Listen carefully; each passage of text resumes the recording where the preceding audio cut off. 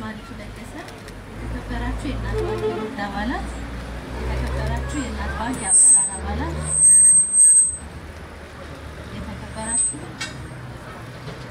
የንግድ ዘርፍ ማህበረሰብ አባላት፣ ክቡራን የተደረገላችሁ እንግዶች፣ ክቡራንና ክቡራት ከሁሉ አስቀድሜ ከወጣትነት እድሜያቸው እድሜ ዘመናቸው ጀምሮ በሙዚቃው ዘርፍ የወሎን ባህል ለኢትዮጵያ የኢትዮጵያን ባህል ደግሞ ለመላው የዓለም አቀፍ ሀገራት ባስተዋወቁት በአምባሰሏ ንግስት ታላቋ ድምፃዊት ዶክተር አርቲስት ማሪቱ ለገሰ። ስም በአዲስ አበባ ከተማ አስተዳደር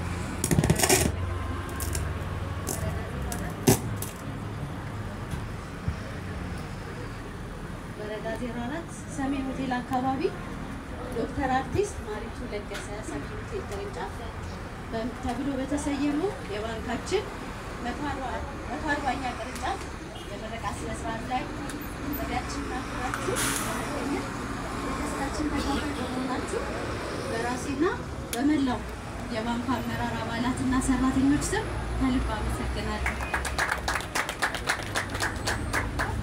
ከእኔ ቀድሞ ንግግር ባደረጉት የባንካችን ከፍተኛ አመራሮች እንደተገለጸው እናት ባንክ የሚሰጠውን ሁሉንም ማህበረሰብ ያማከለ ዘመናዊና የተሟላ የባንክ አገልግሎት ከጊዜ ወደ ጊዜ የአገልግሎት አድማሱን በማስፋት በአዲስ አበባና በሁሉም የአገሪቱ ክፍሎች ቅርንጫፎችን በመክፈት እናታዊ በሆነ መንገድ በተጠናከረ መልኩ አገልግሎት በመስጠት ላይ ሲሆን በተለይም የሴቶችን አቅም በማሳደግ በማሳደግ ላይ ልዩ ትኩረት ሰጥቶ በመስራት ላይ ይገኛል። ዛሬ በደማቅ ሁኔታ እየተመረቀ ያለው ዶክተር አርቲስት ማሪቱ ለገሰ ሰሜን ሆቴል ቅርንጫፍ የባንኩ የአገልግሎት ተደራሽነት ማስፋፊያ አንዱ ማሳያ ነው። እናት ባንክ ከላይ ከተገለጸው የባንክ አገልግሎት ጎን ለጎን መንግስታዊና መንግስታዊ ካልሆኑ ተቋማት ጋር ድጋፍ በሚሹ ማህበራዊ ጉዳዮች ላይ በትብብር በመስራት በተገቢው መልኩ ማህበራዊ ኃላፊነቱን የሚወጣ ባንክ መሆኑን በዚሁ አጋጣሚ ልገልጽላችሁ እወዳለሁ።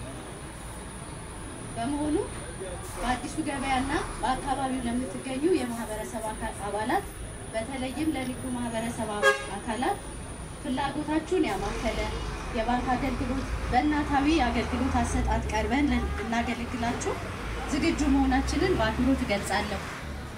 በተጨማሪም